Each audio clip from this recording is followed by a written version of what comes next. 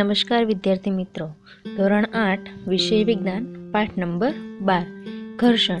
હવે ઘર્ષણ જોઈએ તો કઈ વસ્તુ વચ્ચે ઘર્ષણ લાગે છે? તો કે બે સપાટીઓ જ્યારે એકબીજા સાથે અથડાય છે, તો તેને કહી શકીએ ઘર્ષણ. હવે ઘર્ષણ ઘણા બધા પ્રકારનું હોઈ શકે જેમ કે લીસી સપાટીઓ વચ્ચે હોય છે, ખરબચડી સપાટી વચ્ચે કયા પ્રકારનું ઘર્ષણ હોય છે?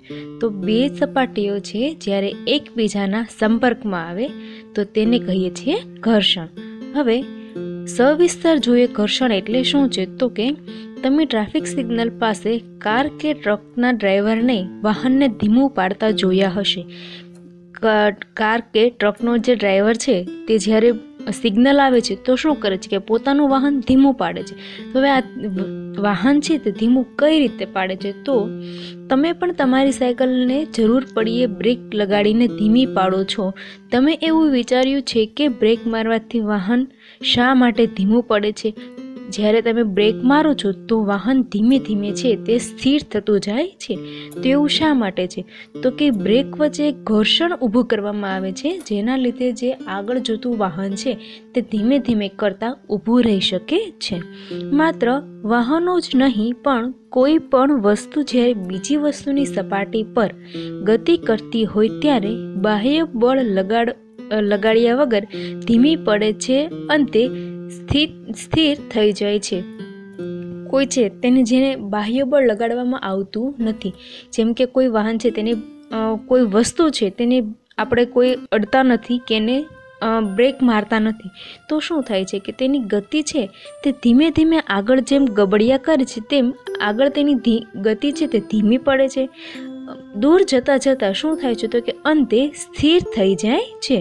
તો માત્ર વાહનો જ નહીં, કોઈ પણ વસ્તુ જ્યારે બીજી વસ્તુની સપાટી પર ગતિ કરતી હોય ત્યારે. ધારો કે કોઈ એક બોલ છે, જમીનની સપાટી ઉપર તમે એક બોલને કબડતો મૂક્યો. હવે બોલ છે તે ધીમે ધીમે આગળ ગતિ કરે છે, એક સમય એવો આવશે કે બોલ છે તે સ્થિર થઈ જશે, એટલે કે તેની ગતિ છે તે ઊભી રહી જશે. તો ગતિ કરતી હોય ત્યારે બાહ્ય બળ લગાડ્યા વગર ધીમી પડે છે અને અંતે સ્થિર થઈ જાય છે.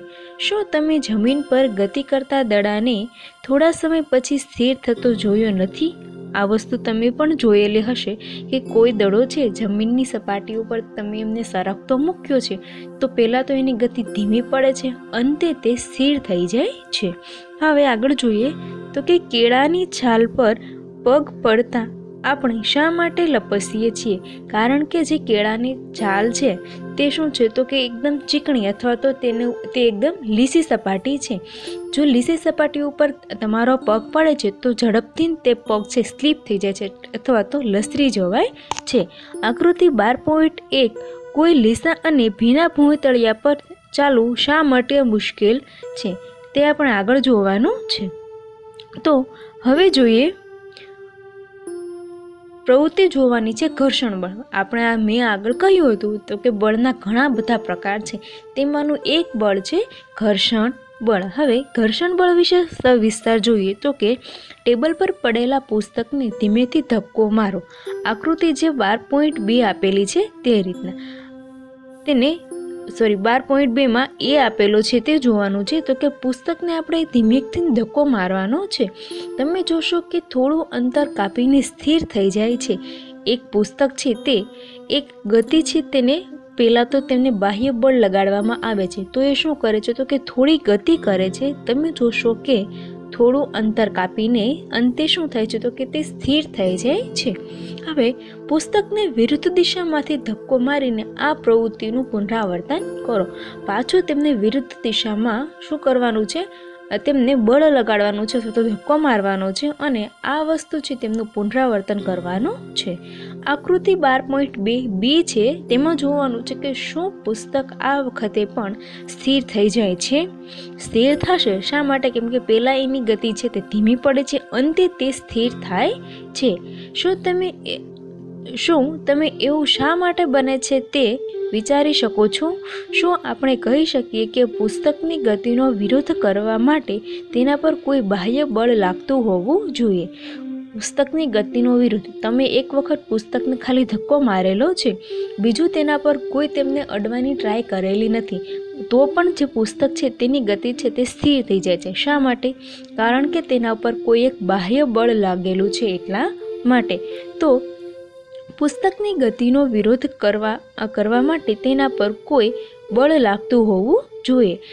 આ બળને ઘર્ષણ બળ કહે છે. ઘર્ષણ બળ, મેં આગળ પણ કીધેલું કે બે સપાટીઓ વચ્ચે લાગતું બળ અથવા તો બે સપાટીઓ એકબીજા સાથે જ્યારે અથડાય છે અથવા તો એકબીજાના સંપર્કમાં આવે છે ત્યારે તેમની વચ્ચે જે બળ લાગે છે તેમને ઘર્ષણ બળ કહેવામાં આવે છે.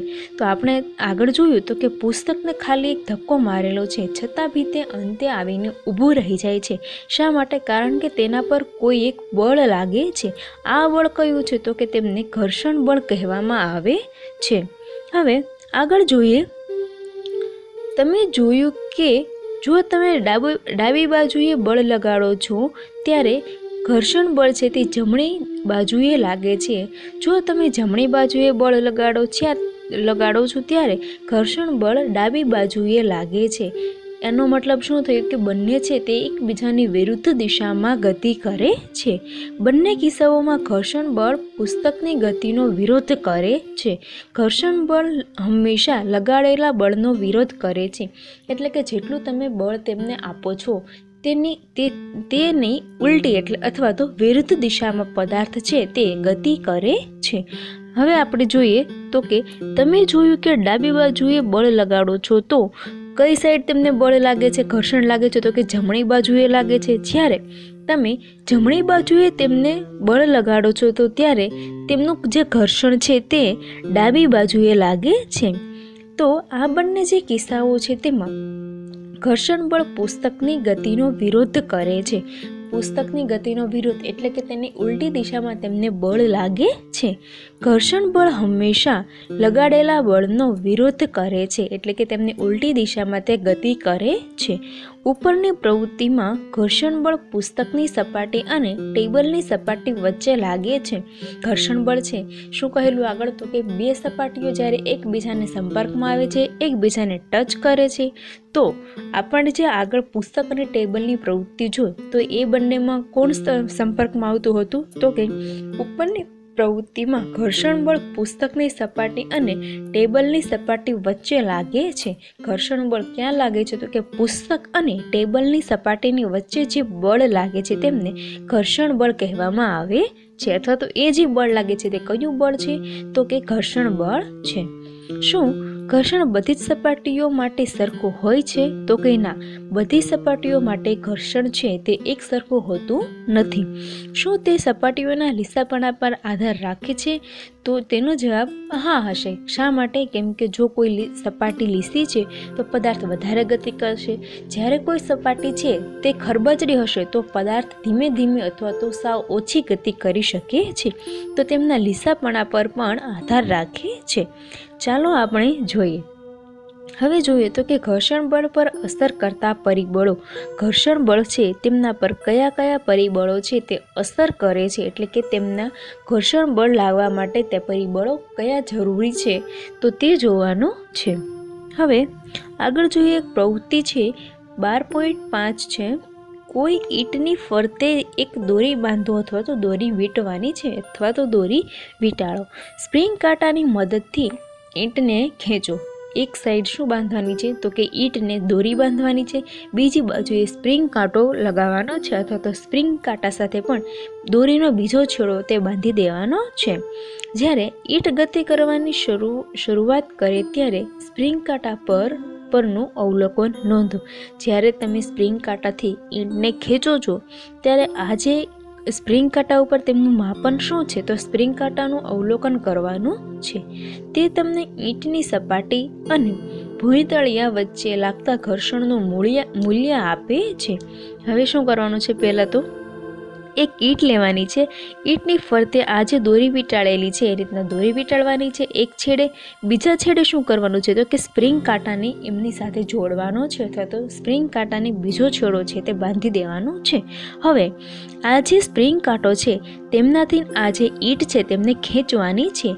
આજે તમે ખેંચો છો ઈટ, ત્યારે સ્પ્રિંગ કાંટા ઉપર એક તમને મૂલ્ય લખેલું હશે, અથવા તો જે સ્પ્રિંગ કાંટો છે તેમાં માપન કરેલું હશે.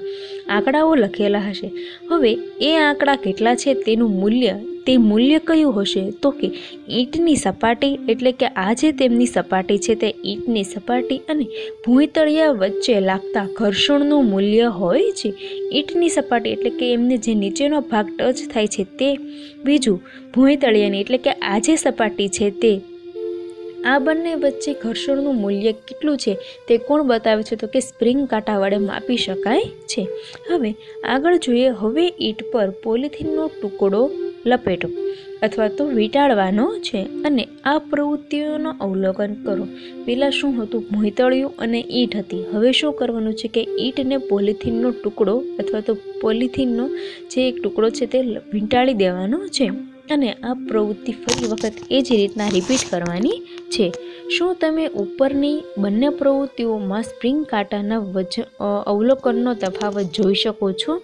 એટલે કે જ્યારે તમે એને પોલિથીન પહેરાવેલી ના હતી ત્યારનું અવલોકન અને જ્યારે તેમને પોલિથીનનો ટુકડો વીંટાળેલો છે, ત્યારનું અવલોકન એ બંને અવલોકન શું તેમાં તમને તફાવત જોવા મળે છે?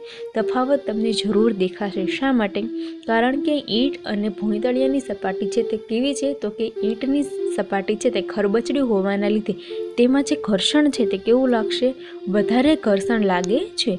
જ્યારે તમને, તમે તેને ઈંટને છે, પોલિથીનનો ટુકડો પહેરાવી દેશો, તો શું થશે? તો કે એક સપાટી છે તેમની લીસી થઈ જશે અને ભૂંયતળિયું તો ઓફકોર્સ તેનું લીસું જ હોવાનું છે. તો તેમાં જે ઘર્ષણ લાગે છે તે શું હશે? તો કે ઘર્ષણ પહેલાંની સરખામણીમાં ઓછું લાગતું હશે. આ તફાવત માટેનું કારણ શું હોઈ શકે? તો કે તેમની જે ઘર્ષણની સપાટી છે તે હોઈ શકે છે.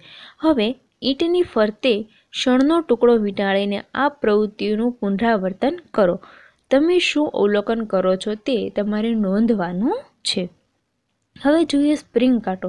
સ્પ્રિંગ કાંટો શું છે? તો જોઈએ, સ્પ્રિંગ કાંટા એ વસ્તુ પર લાગતા બળનું માપન કરતું સાધન છે. વસ્તુ પર કેટલું બળ લાગે છે તેમનું માપન કરતું સાધન છે. તમે જોયું તો કે ઈંટ અને ઘર્ષણ ઈંટ અને તેમની સપાટી છે ભૂમિતળિયાની સપાટી એમ તેમની વચ્ચે લાગતું ઘર્ષણનું માપન કરતું હતું તો કે બળનું માપન કરવાનું સાધન છે.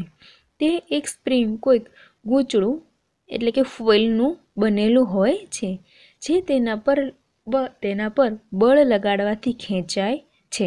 સ્પ્રિંગનું ખેંચાણ અંકિત અંકિત કરેલા માપક્રમ પર સરકતા દર્શક, માપી દર્શક દ્વારા માપી શકાય છે અને માપક્રમનું અવલોકન એ બળનું મૂલ્ય આપે છે.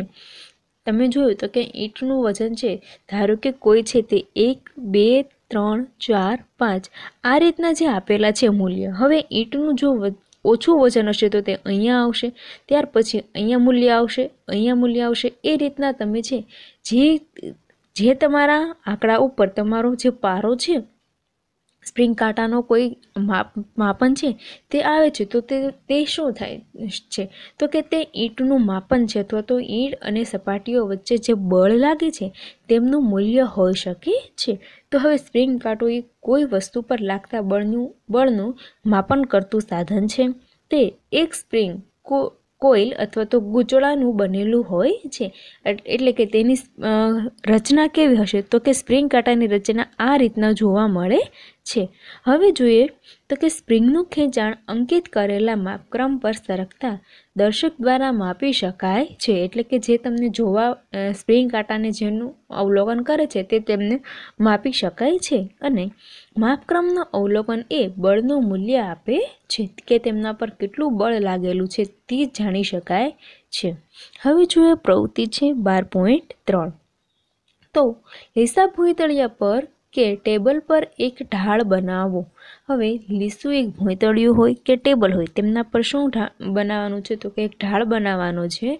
આ માટે તમે ઈંટ કે પુસ્તકના ટેકા, ટેકે રાખેલા લાકડાના પાટિયાનો ઉપયોગ કરી શકો છો, જે તમને આકૃતિ બાર પોઈન્ટ ચાર એમાં આપેલું હશે. હમણાં જોઈએ આપણે તો કે ઢાળ પર પેન વડે કોઈ કોઈ બિંદુ એ પર નિશાન કરો. હવે એક પેન્સિલ એક પેન્સિલ સેલને બિંદુ એથી નીચે ગતિ કરવા દો. હવે, અહીંયા છે તમારું અવલોકન આપેલું છે તો કે એક ટેબલ છે. ટેબલ ઉપર પુસ્તક અથવા તો ઈંટ રાખેલું છે. તેના ઉપર એક ઢાળ બનાવેલો છે. તેમાં શું છે તો કે એક બિંદુ તમારે શું ધારવાનું છે તો કે સેલને બિંદુ એ સેલને બિંદુ એ એથી નીચે ગતિ કરવા દો સ્થિર થતાં પહેલાં તે ટેબલ પર કેટલા દૂર જાય છે તે તમારે અવલોકન કરવાનું છે. અંતે જ્યારે તે સ્થિર થઈ જાય છે ત્યારે તેને નોંધવાનું છે. હવે ટેબલ પર કાપડનો ટુકડો ફેલાવીને મૂકો. કાપડ પર કરચલી ન રહે તેનું ધ્યાન રાખવું શા માટે? કારણ કે જો કરચલી હશે તો તેમની જે ગતિ છે તે અવરોધાય છે. અવરોધાય એટલે કે ગતિ તેમની જાતે જ ધીમી પડી જાય છે. તો જ્યારે તમે ટેબલ પર કાપડનું એક લેયર કરો છો અથવા તો કાપડનો ટુકડો પાથરો છો. તો ખાસ કરીને ધ્યાન રાખો કે તેના ઉપર કોઈ પણ કરચલી ના રહે. હવે, કરચલી ના રહે તેનું ખાસ ધ્યાન રાખવાનું છે. ફરી વખત આ જ પ્રવૃત્તિ છે તેમનું પુનરાવર્તન કરવાનું છે. હવે જોઈએ, ટેબલ પર રેતીનું પાતળું સ્તર લગાવીને આ પ્રવૃત્તિનું પુનરાવર્તન કરો. પહેલાં શું હતું? પહેલાં સિમ્પલ ટેબલ ઉપર આપણે પ્રવૃત્તિ કરેલી, તો કે એક પાટિયા ઉપર શું? બિંદુ એ નક્કી કરેલું અને બિંદુ એથી એ એ પર કોઈ એક સેલને રાખીને તેમને ગતિ કરવા દીધી. પછી તેના ઉપર શું રાખ્યું? તો કે કાપડનો ટુકડો રાખેલો. હવે તેના ઉપર એક રેતીનું સ્તર બનાવવાનું છે અને આ જ પ્રવૃત્તિઓનું તમારે પુનરાવર્તન કરવાનું છે. આ સમગ્ર પ્રવૃત્તિ દરમિયાન ઢાળ એક સરખો રાખો, એટલે કે ઢાળમાં કોઈ પણ ચેન્જ થવો જોઈએ નહીં. જે તમે આ એક પુસ્તક રાખેલું છે, આ પુસ્તકની ગતિ સોરી આ પુસ્તકની જે સ્થિતિ છે, ક્યારે પણ ફરવી જોઈએ નહીં. નહીં તો તમારું જે મૂલ્ય છે, તે હર વખતે તમારે ઢાળના લીધે મૂલ્ય ઓછું વધારે થશે. ઓછું વધારે મૂલ્ય થશે શા માટે? કારણ કે તેની ગતિ અવરોધાય છે તે માટે. પરંતુ આ જે ઢાળ છે, તે બધા માટે એક સરખો રહેવો જોઈએ. હવે આગળ જોઈએ.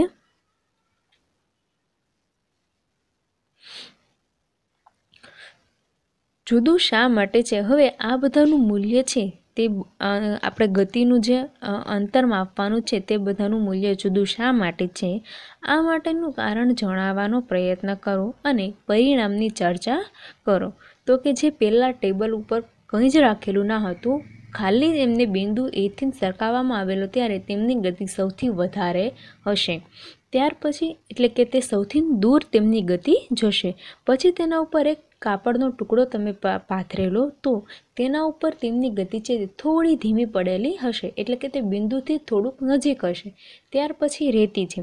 તો રેતીમાં તેમનું સ્થાન સૌથી, તેમનું અંતર છે તે સૌથી ઓછું કપાયેલું હશે. એટલે કે